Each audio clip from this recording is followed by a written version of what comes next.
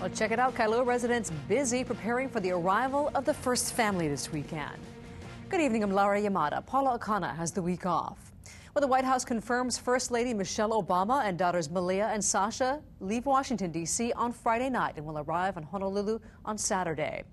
It is still unclear, though, when the president will arrive. KITV4's Jody Leong visited the neighborhood where the first family is expected to stay for the fourth consecutive year.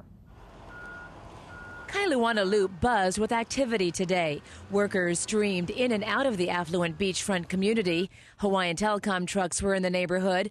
Landscapers were hard at work on properties they say hadn't been touched in years. Tent, design, and installation companies pulled up, but said they signed waivers and were prohibited from telling us what they were hired for. These workers told us they were moving two Secret Service trailer offices into a vacant lot in the middle of Kailua Loop. It was a tricky maneuver, but the crew got the trailer through the narrow entrance. Residents and employees in this beachside community tell us that they look forward to the Obama's arrival each holiday season and that their presence in this neighborhood is more exciting than it is inconvenient. Although the First Lady and daughters arrive Saturday, it is unclear when the President is arriving. But when he does, there's a good chance he'll stop at Kailua's Island Snow for a shaved ice, which he's done for the last three years. Ford comes in, shows up with like four or five big SUVs. Secret Service shows up and makes a barricade and clears everybody out. Um, bomb dogs come through and secure the whole parking lot.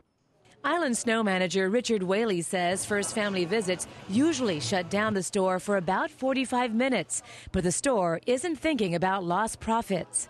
It's not like a terrible inconvenience or anything. He's still he's a nice guy. He goes around and says hi. And should the president and his family return, they'll be ready. They added in more seating out front and they're repainting the building for us and everything. So, I mean, everyone's hopeful that he's going to come by again. In Kailua, Jody Leong, KITV4 News. Now, Kailua residents who live along the canal and ocean received this map from the U.S. Coast Guard yesterday. The map outlines security zones that will be enforced starting 6 a.m. Friday through 8 p.m. January 7th.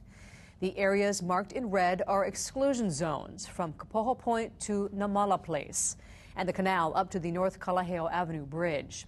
The Coast Guard says vessels or anyone wanting to get through will not be able to do so without prior clearance.